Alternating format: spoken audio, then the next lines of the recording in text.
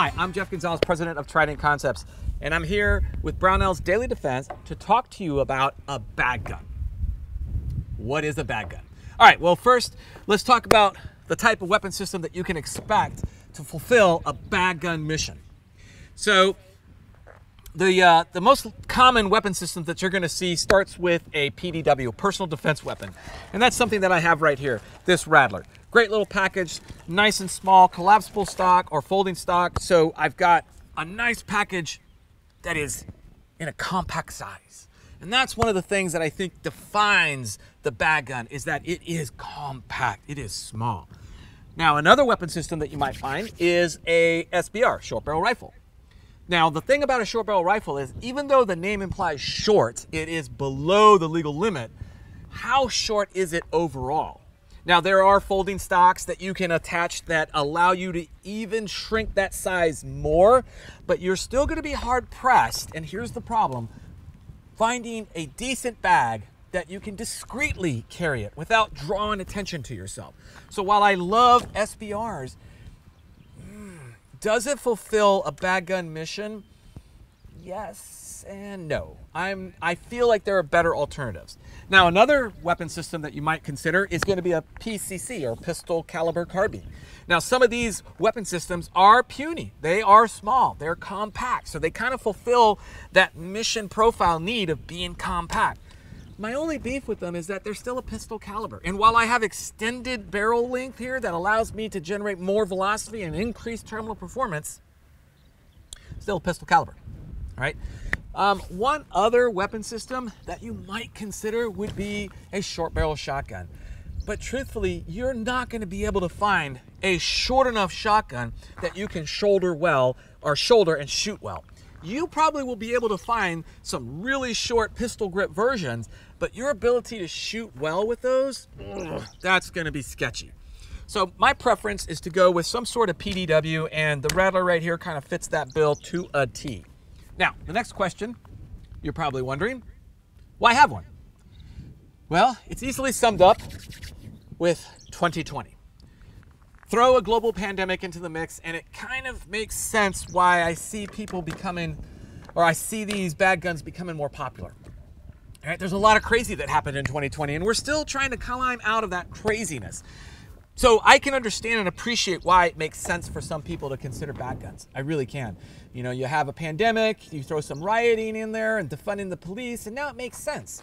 But again, we've got to be able to realistically address the mission need for this thing. And, and will I have access to this in those types of circumstances? Maybe, maybe not. The real question is, will I have access to my handgun? And if so, is it the better choice over the PDW bag gun? And that's going to be kind of like a question that you're going to have to answer for yourself. Of course, if you're not carrying a handgun, but you have one strapped into a bag, yeah, maybe that's the best scenario that you have to work with. But most of us are probably going to be carrying a handgun as part of our EDC package, and this is a supplement to that package. So you got to ask yourself that question which is the best tool to solve that job? So, what we are eventually kind of working to is yes, there's probably a need to have a bag gun, but really what we have to do is we have to define that need. We have to really narrow in on the actual circumstances where we could probably see a bag gun becoming realistic. And it's super narrow. And one of the reasons why it makes it narrow is because if we're doing the right things at the right time, we're probably going to avoid having to use something like a bag gun. We may even avoid using something like a handgun. And that means that we have the ability to detect, defuse, and as a last resort, defend. So when we talk about detecting, that's where our situational game has to be on point. We got to be aware of things, right?